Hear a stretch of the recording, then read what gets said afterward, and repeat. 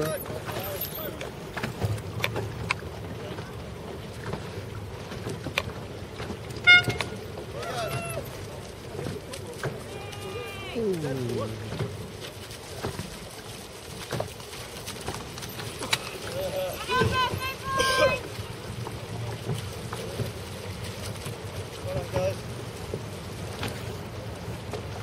Fuck off.